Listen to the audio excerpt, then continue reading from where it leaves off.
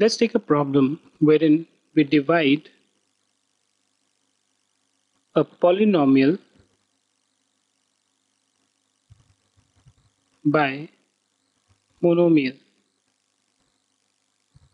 Suppose you are told to divide 28p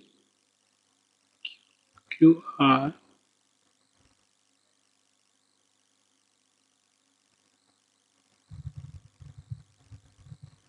divided by 7pqr.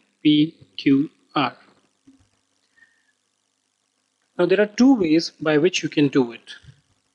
The first one is through the common factor route.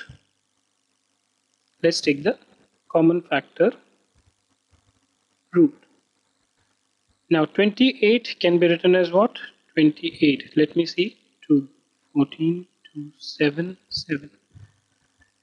2 into 2 into 7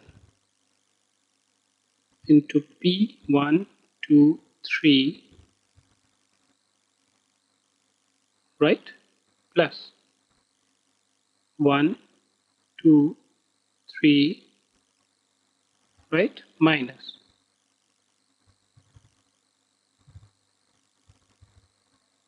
let me just remove this to make things easier r into r into r. Okay? Divided by 7 pqr okay let's take it in a stage 2 so we can also write this as 2 into 2 into 7 into. Now let's find out what is the common factor in these three stuff. So we have p here. Let me use a different color. P p p into p into p but there is no p here so I leave it like this. Q q q. So q is a common factor.